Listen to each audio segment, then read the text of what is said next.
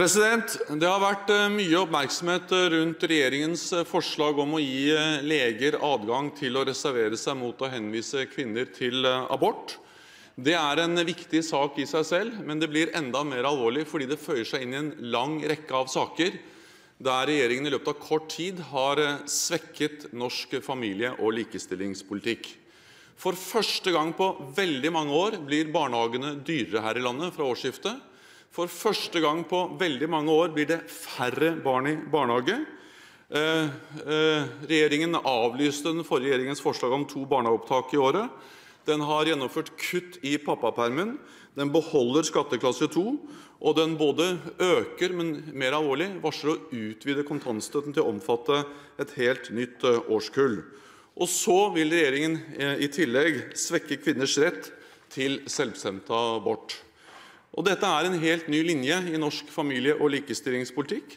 Det er en linje som tar Norge i feil retning. Det fører til mindre likestilling mellom kvinner og menn.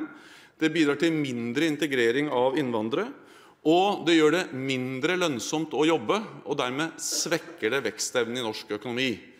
I tillegg vet vi av eh, omfattende forskning at eh, barn i barnehage får en bedre start når det gjelder læring og skole, og når det nå blir 7000 færre barn i barnehage som direkte følge av regjeringens politikk, så bidrar det også til å svekke eh, veksten i norsk økonomi, fordi kunnskapsinvesteringene eh, svekkes.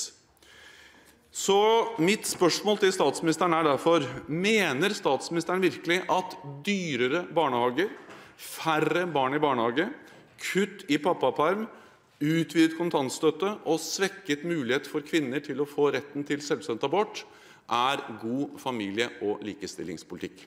Statsminister Erna Solberg.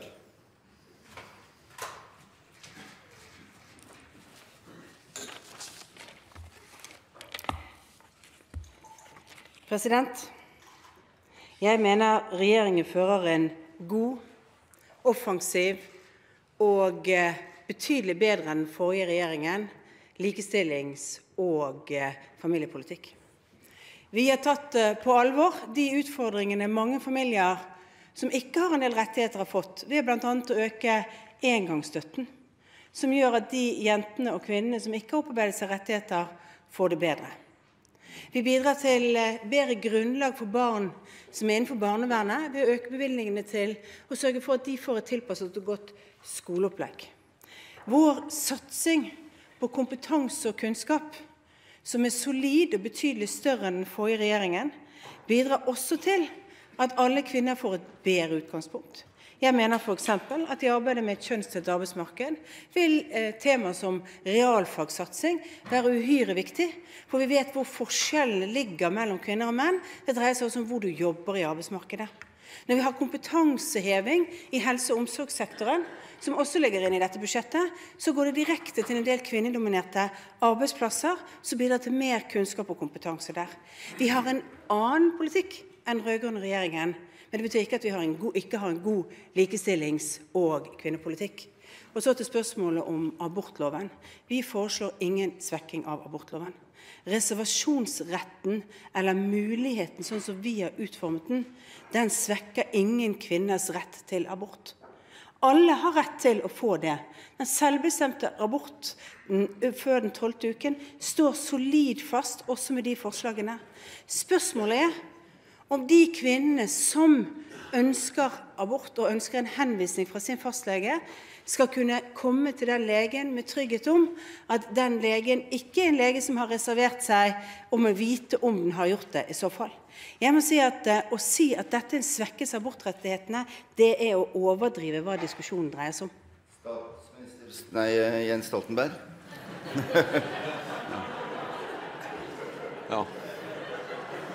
ja. ja. Tusen hjertelig takk, president.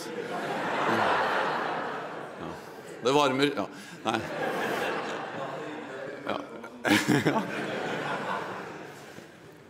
Altså, president, Å si at dette her er en lite spørsmål, det mener jeg er en veldig alvorlig feil i spørsmål om reservasjonsadgang. Det er både viktig prinsipielt og viktig praktisk.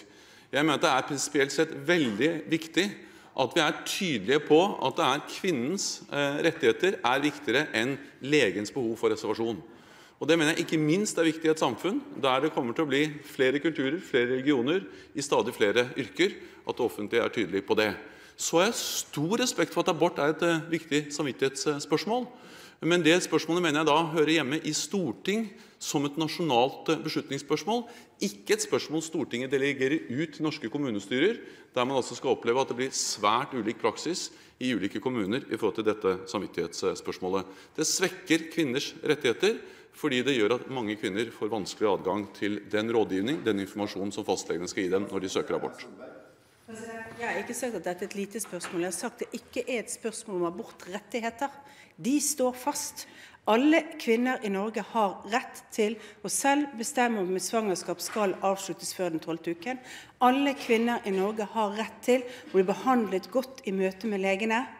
Og Derfor har vi satt kvinnens rettigheter i det forslaget foran legenes rettigheter.